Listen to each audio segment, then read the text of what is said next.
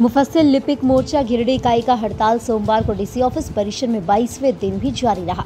इस कार्यक्रम में सरकार की दोहरी नीति का सभी लिपिक विरोध जताते हुए कहा कि सरकार लिपिकों को भेदभाव की दृष्टि से देख रहा है। किसी संवर्ग को पाँच आठ प्रोन्नति नियमावली बनाई है और मुफस्सिल लिपिकों को एक भी प्रोन्नति नहीं है। कार्यक्रम में प्रदेश महासचिव विकास सिन्हा ने संबोधित करते हुए कहा कि सरकार मुफस्सिल लिपिकों की मांग पर विचार जल्द कर, नहीं तो परिणाम भुगतने के लिए तैयार रहे। जिला सचिव अवधेश कुमार यादव ने कहा कि सरकार हम लोगों को ठग रही, लेकिन अगर हम लोगों की दो सूत्री मांगों पर विचार नहीं किया गया तो मुख्यमंत्री आवास घेरने की तैयारी चल रही है।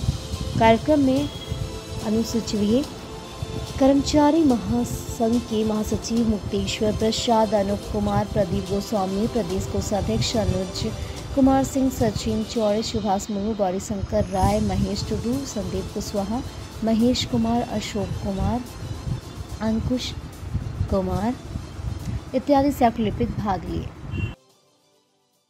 लिपिक मोर्चा का बाईसवां दिन हड़ताल चल रहा है। और इस हड़ताल को लेकर कल हम लोग सदर विधायक सुदीप कुमार सोनू जी को भी ज्ञापन दिए हैं कि आपके भी नज़र में आ जाए। पहले भी ज्ञापन दिए थे, फिर कल दिए।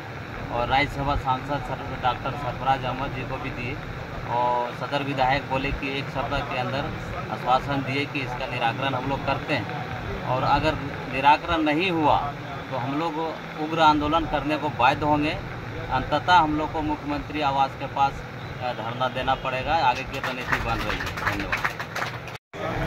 आज हड़ताल की हम लोगों का बाईसवा दिन है। सरकार को अभी तक कानों में जू नहीं पहुँची है कि लिपिक जो है, हड़ताल में है। और हम लोगों की जो मांग, दो प्रमुख मांगे जो है, नियुक्ति से ग्रेड पे 2400 और दूसरा जो है समान कार्य के लिए समान वेतनमान और प्रोन्नति। जो समरणालय लिपिकों को मिल रही है प्रोन्नति, जो जिला कैडर हैं, हम लोग भी जिला कैडर हैं, हम लोगों का भी जो है वेतन और प्रोन्नति जो है समरणालय के अनुरूप होनी चाहिए।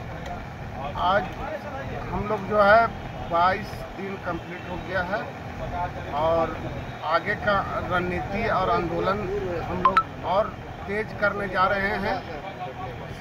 ज़रूरत पड़ी तो मुख्यमंत्री आवास के पास हम लोग बैठने का काम करेंगे।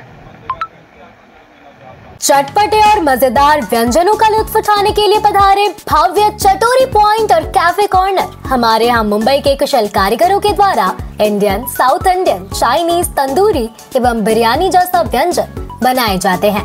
यहाँ आप वेज और नॉन वेज दोनों तरह के व्यंजनों का लुत्फ उठा सकते हैं।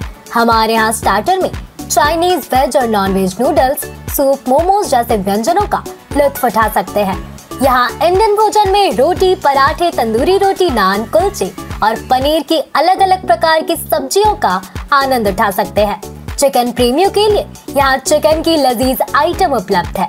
आप यहाँ साउथ इंडियन भोजन जैसे इडली, डोसा, उत्तपम के अलग अलग प्रकार के मज़े ले सकते हैं। यहाँ उपयोग किए जाने वाले सॉस और चटनिया यहीं पर तैयार की जाती है। हमारे यहाँ शादी, जन्मदिन, सालगिरह जैसे आयोजनों के लिए ऑर्डर लिया जाता है और कुशल कारीगरों द्वारा काम किया जाता है।